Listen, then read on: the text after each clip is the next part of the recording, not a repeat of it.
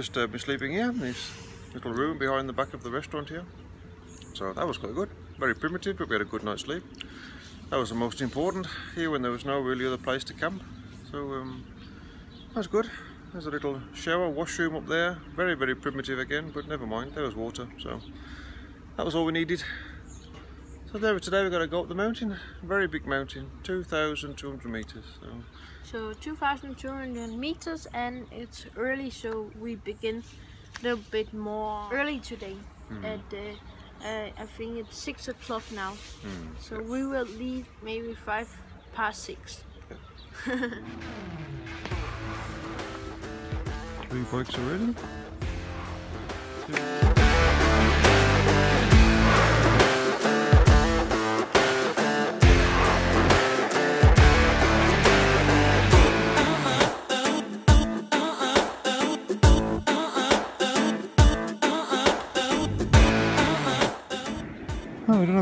100 kilometers the past few days and I'm still feeling it now in our legs. Now we've got a mountain to go over. Already ascending quite quickly. Just, uh, see below, that's where we started.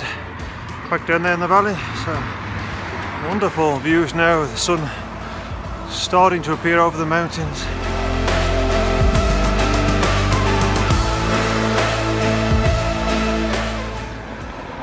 It won't be long and the sun will come up over there. But now it's a nice cool shade because of the mountains are so steep at the side of us.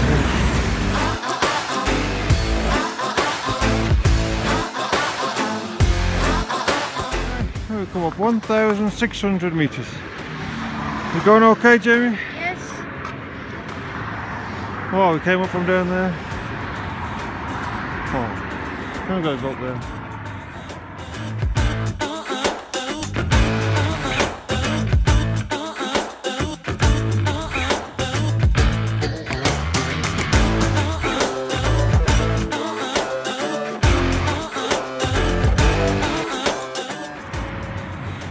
Jamie doing a good job climbing this mountain. There's just two small dots on this huge place.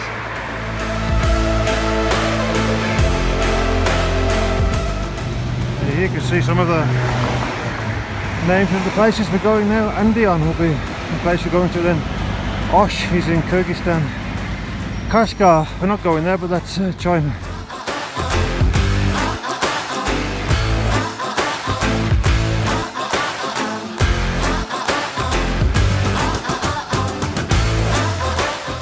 Even after what one month of not riding on mountains, we still can do it. that's good. So far, met his knees uh, holding out. That's good. That's good. Okay, now I'm very shocked because we first start down there and you could not see where we were starting. It's very long down there and uh, now we are here and I think, yeah, so now we are very pleased because we are nearly on the top.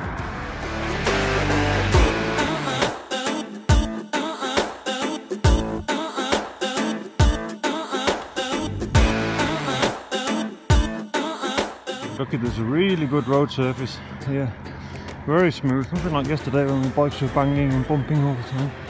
Perfect road, makes it much easier.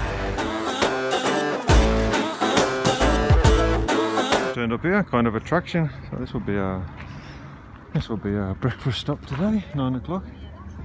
Up at 2,000 meters now. So oh, it hasn't taken many minutes to get crowd around Jamie.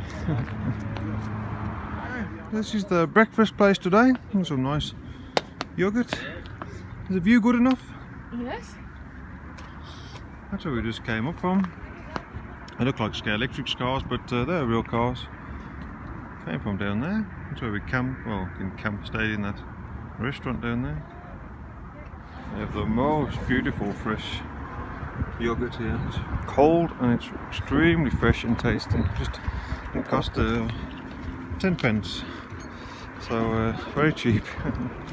Looks like the place that people from Uzbekistan they come to get selfies here. So okay, ready to do a bit more biking? Yes. Got another few hundred meters to go. I think the top is many meters meters do you think? 2,200 I think the top is.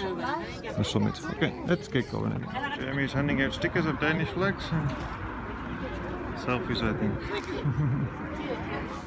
oh, that was the best place I've ever had to eat yogurt. Just eaten three of those yogurts. tasted great. Oh, really cold and fresh. That's what we need. Guys on a motorbike there. From Spain by the looks of it.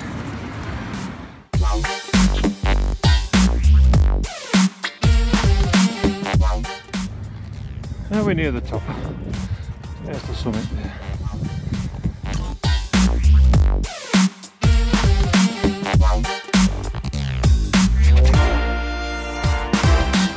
Okay, have a bit of tunnel riding. Some guards just before the tunnel, so then I can guide the traffic into the left-hand lane to uh, keep the traffic away from us. Let's see if they do that.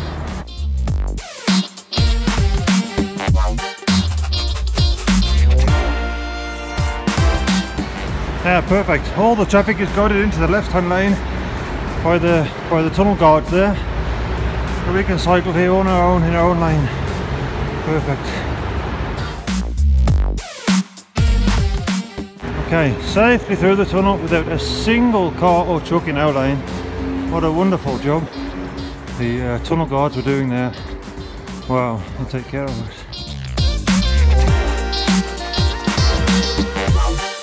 So we came out of the tunnel, we were stopped by uh, an army man. He looked very dangerous, full army suit and knee protectors and a massive gun and uh, he had like a hood over his head so he looked like a bank robber.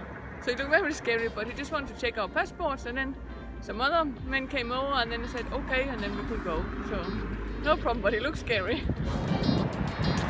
So we're up over 2,000 metres, the air is much fresher and cleaner here now.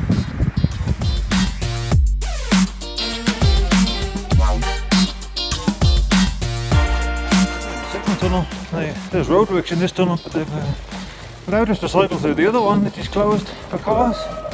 This makes it very easy.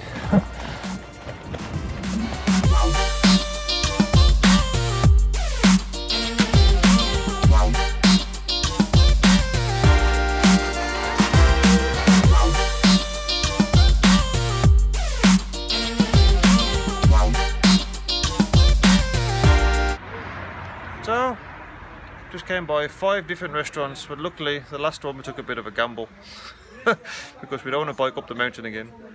But uh, that's a good place here. So once again, kebab. and uh, have these small little booths here where we sit and uh, very good. Nice. One thing I want to say is before in the start of the beginning we was worrying about the meat but now we begin to say kebab kebab kebab before we say no meat no meat so yeah we have changed our mind because they make very good kebab Yeah, very good. Soup. Yes, water, yes. It's a bit strange to believe we can climb a 2,200 metre mountain, have time for breakfast on the way up and lunch at uh, 12 o'clock on the other side, all the way down. Amazing. Time for yogurt number four today. oh, I love these yogurts here. Well, you can get those. And Jamie's in love with kebabs, I can see. There's a nice lunch here. I'm sitting in the booth just there.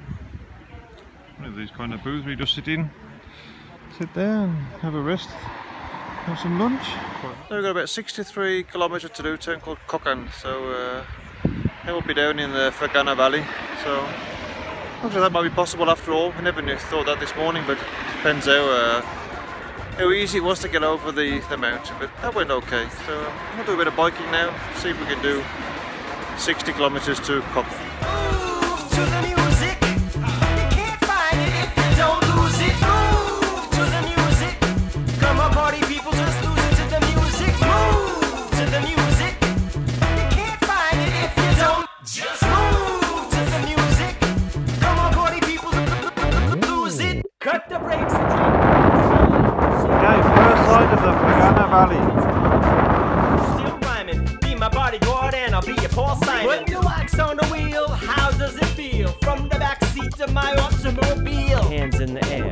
Sending now for about 40 kilometers.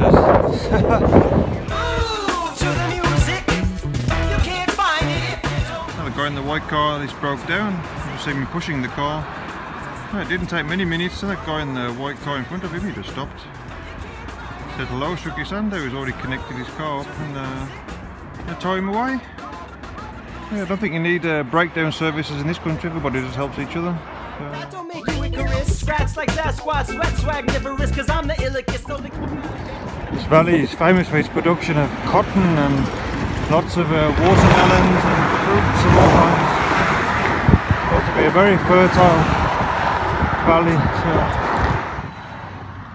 So, before Uzbekistan, Andrew changed our tires to some stronger ones. So we thought we'd finish the punctures because last part of Turkey we had quite a few. But now Jamie has a puncture again and it's only what two, three days ago we had a puncture last time. And there's some little thorns from yeah, some kind of weed or bush or something that's got in the tire. Which we didn't think would puncture these big tires, but it has. Yeah. The good thing is that we could get off the main road in here and in the shade. So that's something good. Okay, and this is the animal today when its daddy are fixing the puncture. There are three cows. Back on the road after Jamie's puncture. And, uh, 20 kilometres to do now. I mean, in the, in the town where there's a few hotels. Now we're entering the town of Kokand. Never thought that was possible this morning. Well done, 500 kilometres in five days. Yeah, it's great. Now we're here. Day's rest tomorrow. Oh, great. Looks like there's some attraction over there to see. Today we're at the biking uh, 94 kilometers. 94 today. My name and I can find a way to make everything you want come true. I told you call my name, I promise you. Nice place to have a resting day tomorrow. So am I doing? Jamie just in the hotel reception now trying to negotiate a good price. Meadows, she's uh, getting quite a knack for negotiating. Manages to get cheaper rooms, so uh, now she does the negotiating. And uh, she's better than me getting cheaper prices, so that's good. So um, yeah, I've just read on the internet this place got a good breakfast. Let's see if they have a room and uh, stay here. Looks good. Once again, you never know what the day is going to bring. There we're here. It's a nice looking town called Puckham. A nice hotel. We recommended a nice restaurant over here so we can uh, fill up our fuel tanks after 500 kilometers. Okay, now I'm doing the finish video today, and now I want to say tomorrow we are here in uh, what is the town? Say it again. Kokand. Kokand. Kokand, the town. Today we are being one more day tomorrow, so that means we are sightseeing tomorrow in Kapan And resting. and resting. Mainly resting. Yeah. So yeah. Eating a breakfast for at least three hours. yeah. Yeah. So see you tomorrow. Bye bye.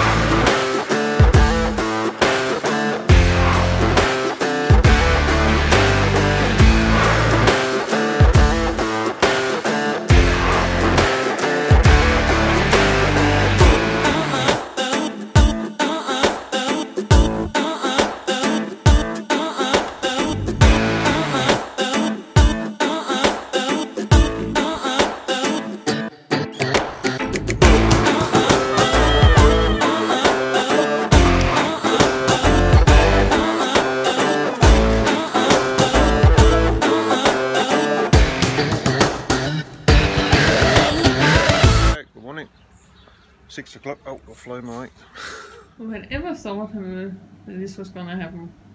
Andrew actually says he's tired in his leg and cannot go out to clean his teeth, and he's so glad he's not biking tomorrow.